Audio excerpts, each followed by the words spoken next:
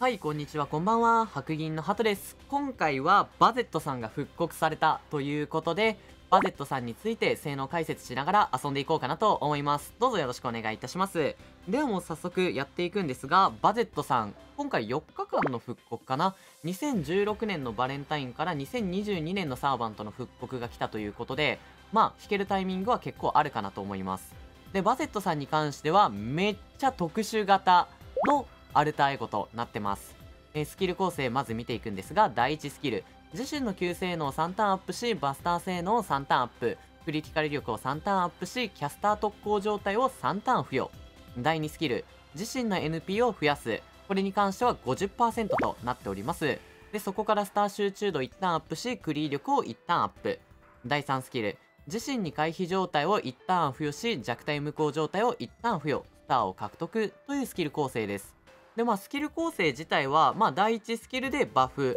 でキャスター特攻を乗ってくれるということでもともとバゼットさんキャスターに有利属性取れるんですがさらに特攻が入りやすくなるよって感じです。でそこから NP50% チャージして宝具の回転上げつつ第3スキルで回避とかスター獲得でクリ運用と耐久ができるよっていう感じです。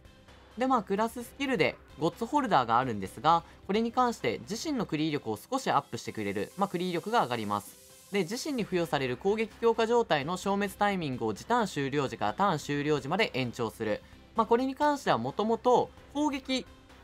のバフに関しては攻撃が終わった後消滅するんですけどそれが延長されるよということで相当優秀。まあこれがないとバゼットさんは弱いよねって感じです。で、宝具ですね。宝具に関して、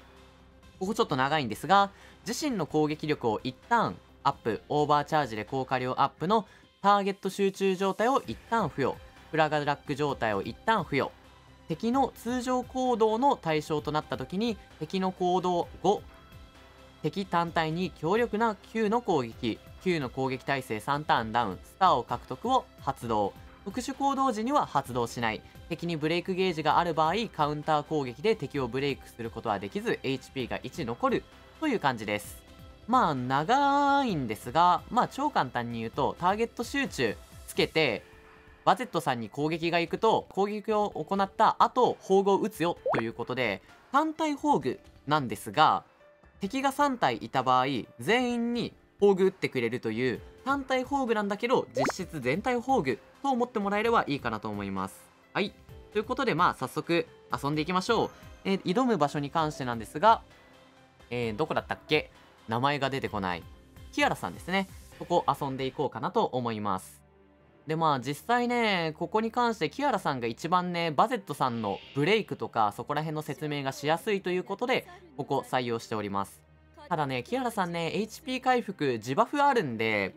ここだけやめてほしい。それがなかったらすごい綺麗に解説しやすいんですが、うーんって感じ。では、まあ長いんですが、やっていきます。で、一応ね、バゼットさんじゃねえわ。キアラさんに関してなんですが、全てのデバフが入ってる、バフが消えてるという状態です。えー、で、初ターンなんだけど、まあとりあえずぶん殴っていきましょう。はい。で、えー NP チャージも使っときますか。はい。使っといて回収して回収してバフっていくって感じですね。でまあここをちょっと攻撃力アップ先につけておきましょう。ちょっと攻撃のね火力を上げておきたいっていうのがあるので。で1ターン目。まあ全てのスカイリンのバフ全部入っているのでそのまま殴っていきます。で一応ねここねクリティカル威力アップに関してなんですが相当火力が高いのでまあ、スカリーのねバスタークリーン威力アップが高いので削ってくれることが多々あったりします。これも結構いい運用って感じですね。あー惜しかった。でおいおいおいそうやって HP 回復ばっか打つんじゃない。でデバフを打つとこんな感じになります。防具打ってくれるって感じですね。でここ見てもらったら分かるんですが体力が1残ります。これブレイクあるということで1以上はこれ削ることはできないんで注意してください。ただ1ゲージ目で削りました。体力削った後にうまいことすることによってまあ宝具ブレイクを実質2個減らすことができるというお手軽編成となるんでそういった意味では強いかなと思います。でまあこういう感じでねブレイクします。でブレイクしたタイミングって宝具打ってもまあ意味がないんですよ。まあブレイクしてるからそれ以上削られないからね。はい。ってなるんですがうんまあ急性能上げてたりするとこんな感じで何ですか知らないけど NP100% チャージとかもしてくれますでここターゲット集中入ってるんでまあバゼットさんに必ず攻撃はきます。でここ攻撃してうーんずっとこれやってくるんだよね。困っちゃうねって感じなんですがまあここでうまいこと削れるかな。ちょうん削れるとは思うんだけど Q の耐性がダウンしているので少し怖いが削れることを祈るか？祈るか。攻撃弱体解除しておいて殴りましょう。ただこれねやっぱねブレイクした後 HP が満タン状態で戦うっていう形になるんだけどここでクリティカルで突破とかしてくれた場合まあ比較的に楽にいけるんですよね。ああしなかったか。しゃあない。でバゼットさんの良くない点はここなんだよね。もし仮にミリ残ししちゃった時にこういう感じでデバフをガンガンガンガン打ってくるんですけどゼロダメージになっちゃう。ここが良くない点です。でわーあとコマンド運もねちょっとね注意が必要。これ4ターンってなってると思うんですけどこういうタイミングでこういうバスター Q とかがいろいろ来てしまうとこの分もったいないんだよね。ここがちょっと弱い点だったりはするんですがまあまあまあまあ結局宝具連発すればするほどこのフラガラックに関しては最強になり得る。かつ Q の耐性がねずっとダウンするんですよ。これが強かったりするんでいいですね。で Q のバフ入ってないんですけど44%ぐらいまでクリティカルでポンって貯めてくれるんでいいですね。ただターゲット集中をつけてしまっているのでこういう感じで死ぬ可能性があったりするのがちょっとネックな点かなと思います。で、えー、っと、ここまで行くと、もう孔明とかでバフって殴った方がいいんですが、どうだろうな、バゼットさん死ぬ可能性あるかなで、孔明みたいな NP 補助のキャラクターって便利だったりするんだけど、ターンしてしまうと、バゼットさんの宝具が意味なくなるってなるんで、そこだけ注意してください。バゼットさんはあくまで攻撃を食らうことによっていきます。ただ、攻撃を食らわないと意味ないよってなるんで注意が必要です。でまあちょっとバゼットさんの悪い点が出てきてくれたら個人的にいいんだけどちょっとそこ見せれたら嬉しいなーってやつなんだけどどうだろうか。バゼットさんまあ回避とかターゲット集中つけて殴っていくんですがデメリットもあります。デメリットに関してこういう攻撃を食らった時にまあフラガラックで飛ばしてくれるんですがもうずっと HP 回復するなバゼットさんが HP0 になったタイミングなんだけど死にます。普通に。宝具打たずに死んでしまうんでそこだけ注意してくださいあくまでこのバゼットさんの宝具に関してなんですが体力が残っている状態で発動できるという宝具です体力が残っていないと宝具は発動できないよって感じですね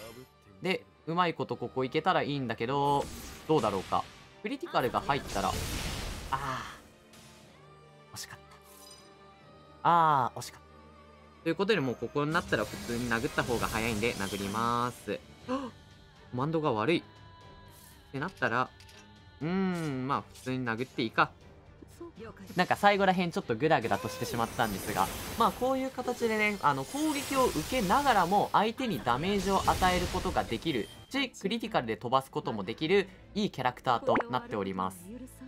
で実際ねバゼットさんに関してはねなんか特殊です強いサーバントであるのは事実なんですがやっぱりこれを運用しようって思うとターゲット集中をうまいこと活かさないといけない。まあ今スカリーで運用していたんですが、まあ、スカリーで運用しようって思った際に結局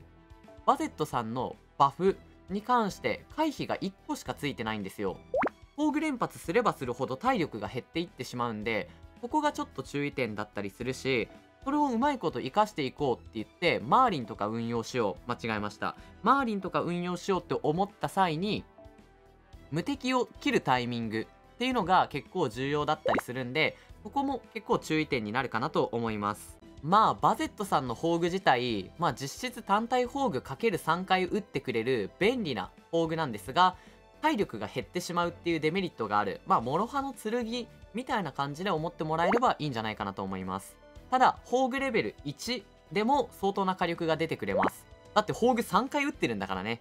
全体宝具よりも期待値が高いし単体宝具よりも期待値が高い宝具となっているんでまあうまいこと活かしていくと